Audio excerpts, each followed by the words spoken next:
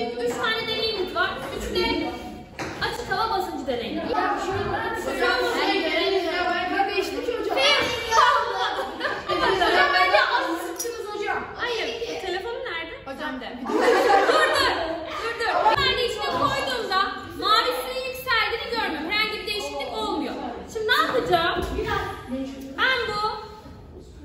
Deneyi İlk önce burada boş, bir tane erlenimiz var.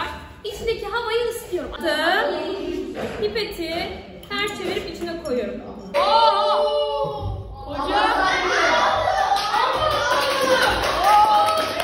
Şimdi gençler, normalde şu an şişenin ağzı açıkken dışarıdaki hava basıncı ile şişenin içindeki hava basıncı nasıl? Eşit. Eşit. Şimdi ben normalde bu yumurtayı buraya koyduğum zaman içinden geçiyor mu? Herhangi bir kuvvet uygulamadığım sürece geçmiyor. Şimdi ben şöyle bir şey yapacağım. Ee, ben kendi elime bir kuvvet uygulamayacağım ama yumurta kendi kendine içeri girecek. Nasıl bakalım? Geri dışarı mu hocam? Kağıdı bir yakalım. Hocam çakmak çok güzel.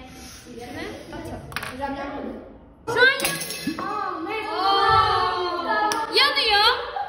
Sana bir şey oldu mu? Yok hocam bana bir şey. İçe el ele